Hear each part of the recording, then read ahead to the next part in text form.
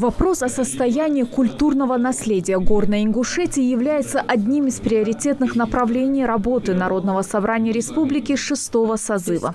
Не только потому, что эти памятники представляют собой уникальную ценность, но и потому, что у депутатов Народного собрания возникло много вопросов по исполнению законодательства в области охраны памятников истории и культуры.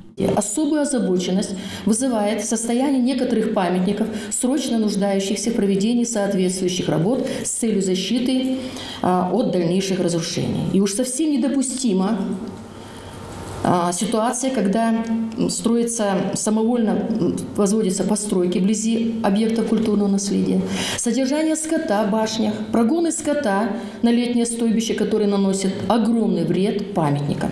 По словам зампредседателя правительства Петимат Аушевой, для решения вопросов в сфере сохранения объектов культурного наследия правительством республики принято ряд мер, которые позволили скоординировать эту работу в правильном направлении. Основной проблемой 2015 года являлось отсутствие государственного учета башенных комплексов и других памятников Ингушетии. Так, по состоянию на март 2015 год на территории Республики Ингушетия на государственной охране находилось 8 объектов культурного наследия. Для решения данной проблемы проведено ряд совещаний, образован соответствующие комиссии по инвентаризации и учета памятников. В итоге по состоянию на, 2000, на март 2018 год в Ингушетии на государственной охране находится 1786 а, выявленных памятников. Как отмечает заместитель руководителя территориального управления Росимущества в Ингушетии, всего было выявлено свыше 1700 памятников истории и культуры, 911 из которых оформлены. Управлением также был направлен запрос в Росреестр, чтобы совместно с ними проводить проверку по самовольным захватам жилым и нежилым постройкам рядом с объектами культурного наследия. Учитывая резонансность этих вопросов, э, мы как бы предлагали э, с участием Росим, предлагаем с участием и Росимущества, и заинтересованных сторон, и заповедника, э, я имею в виду Жарас-Касинский заповедник, и представителя парламента, именно вот эту часть итоговую, результативную, можно даже с присутствием и телевидения, э, как-то, э, чтобы она до своего логического конца дошла. Я имею в виду именно снос вот этих самовольных построек, чтобы он был доведен до логического конца если а, а, а не затянулось еще на несколько лет. Как отмечает в своем выступлении директор Джейрахско-Асинского музея-заповедника, самый большой музей под открытым небом в России составляет 60 тысяч гектаров.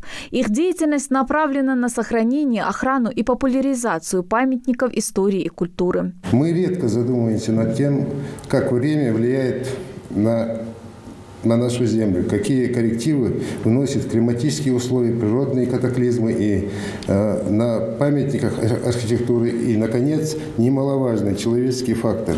Влияние этих процессов в горах намного интенсивнее, чем на равнине. Около 70% исторических поселений в горной части Ингушетии построены на горной, скальной, черной сланцевой породе. И все из них сегодня в аварийном состоянии.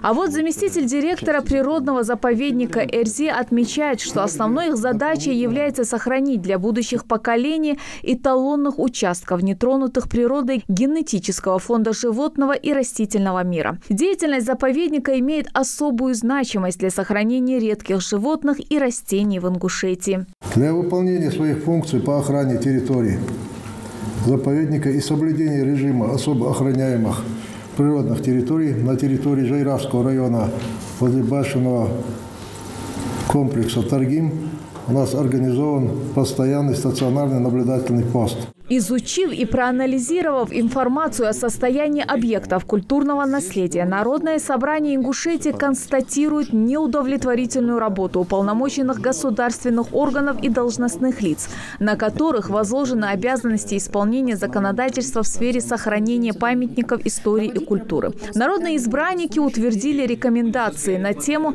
о состоянии объектов культурного наследия Горной Ингушетии.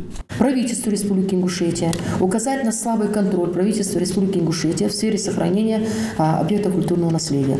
Представить до 23 апреля 2018 года предложение по ликвидации нарушений законодательства и повреждений, нанесенных объектам культурного наследия в результате противозаконной хозяйственной деятельности. Памятники истории и культуры Ингушетии представляют собой уникальную ценность и являются неотъемлемой частью всемирного культурного наследия.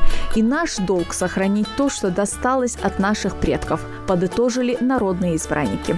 Светлана Томова, Сурхо Кусиев. Новости 24.